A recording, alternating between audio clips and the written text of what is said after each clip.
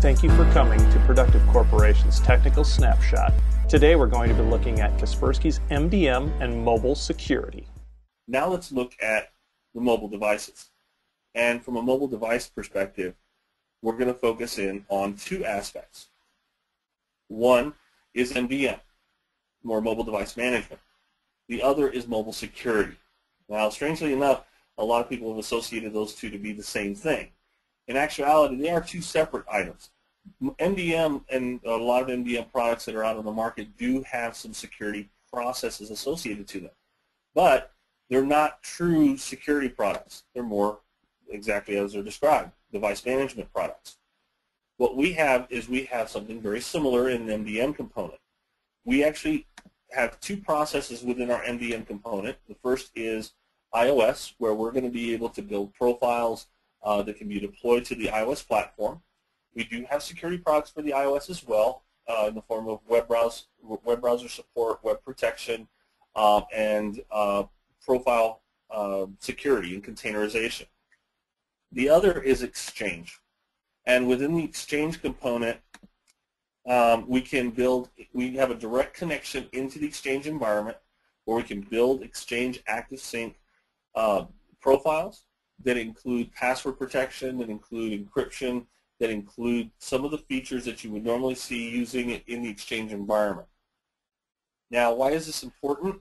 Because some of the features that are in Exchange are also in the mobile security product, but they all obviously have a, a reliance on Exchange, whereas we do not. And let's take a look at that. I'm going to jump up here to my mobile devices, and let's take a look at my mobile device protection policy. Now, with the mobile, like I said before, this is not. Can you restate that, Marty? So you're saying sure. that this doesn't rely on, yes. can be integrated with Exchange or it can operate separate from. Is absolutely. that correct? Yes, absolutely. Okay. What, what you have with the, the Exchange ActiveSync product is you have a number of security processes, password protection, device wiping, uh, device management, where you can block things such as the Bluetooth or the Wi-Fi or the browser. And that's all done through Exchange. So we have that connector directly into it that gives us that capability of designing those profiles and building them out accordingly.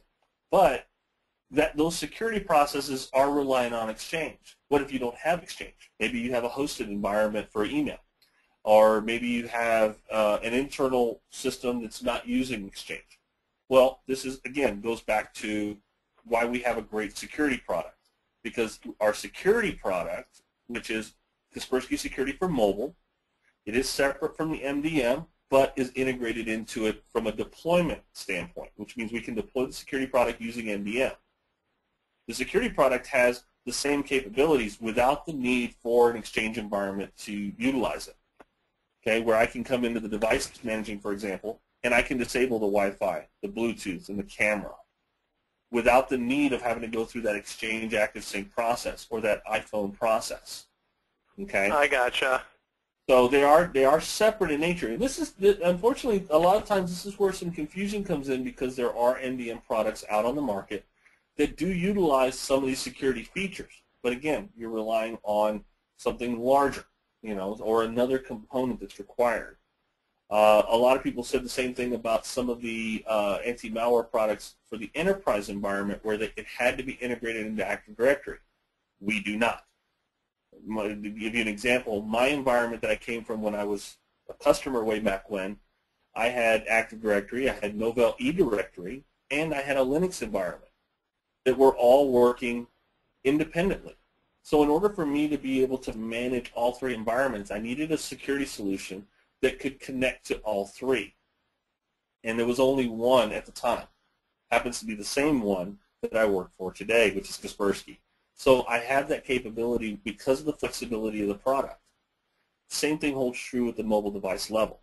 I can use this independently, or I can use it within an Active Directory environment or an Exchange environment. Yeah. When we look, when we look at the, the the focus of mobile security, though, this is where it's very unique. The physical endpoints, like your desktops and laptops, are really broken up from a security standpoint into two areas: the scanning tasks and the update tasks you obviously have some policies associated to each. The nice thing here is, as opposed to the physical environment where you'd have separate tasks for scanning, separate tasks for updating, you actually have it all under one umbrella with mobile security. We have a scanning task built into the policy where it's going to go out and look at all these things and can be scheduled accordingly.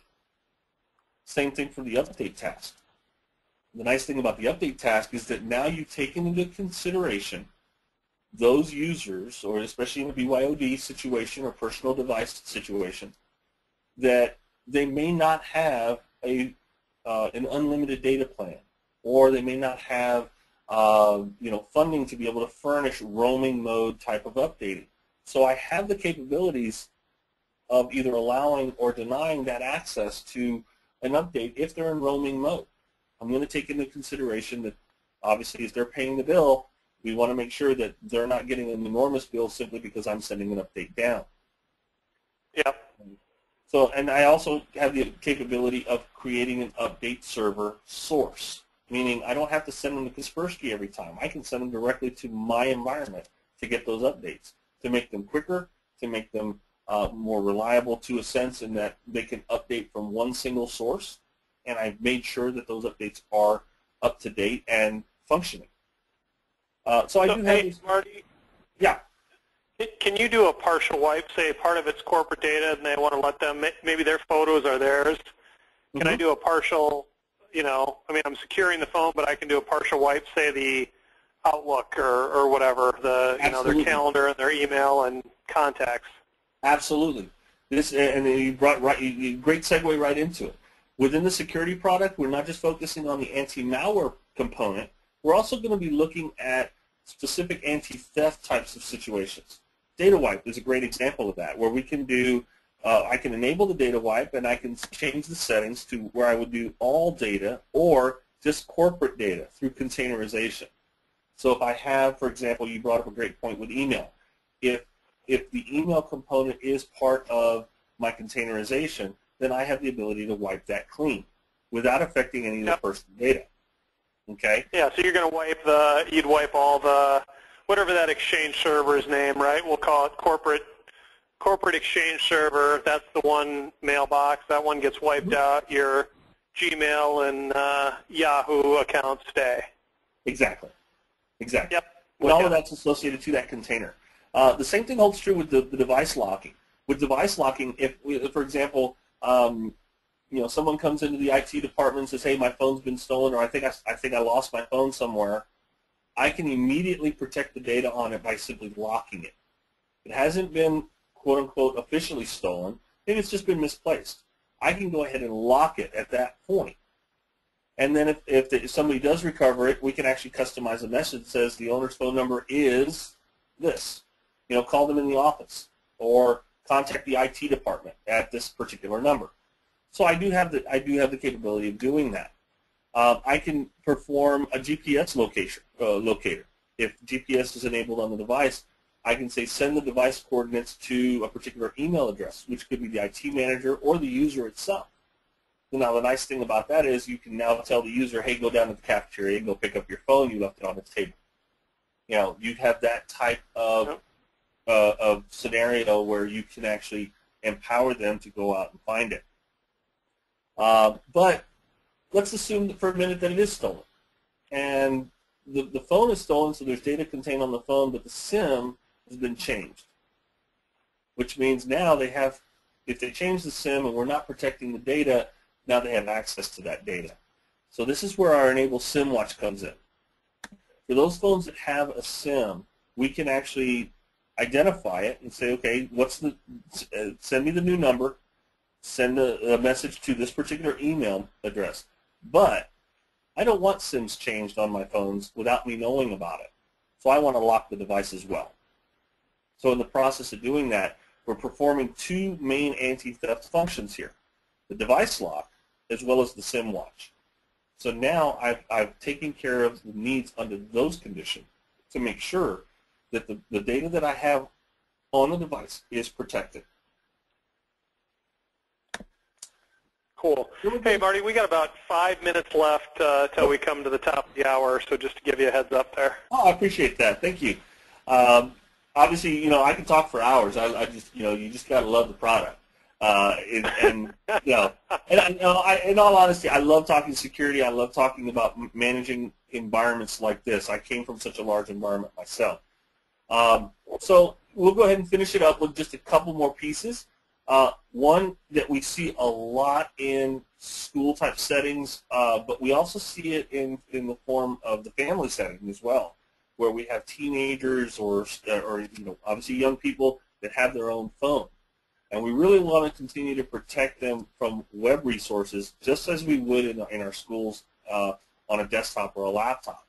So what we have within the network settings is the ability to categorize web protection, just like we do in our web control for our physical endpoints.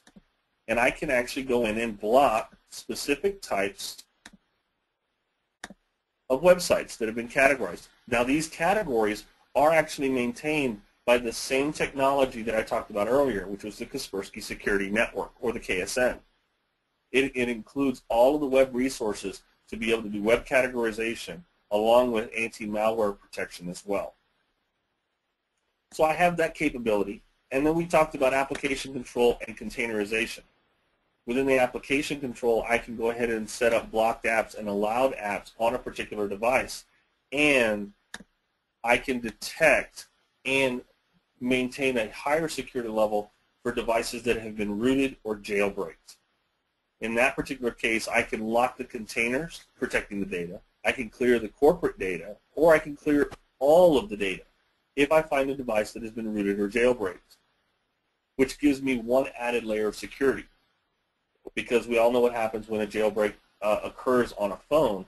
While there's more uh, features available to the phone at that point, the vulnerability risk is also in, uh, is also heightened.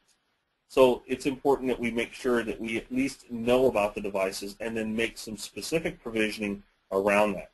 This is definitely something you want to consider if you're going to a BYOD situation. You want to make sure that those devices are not going to impact your environment where a data breach could occur.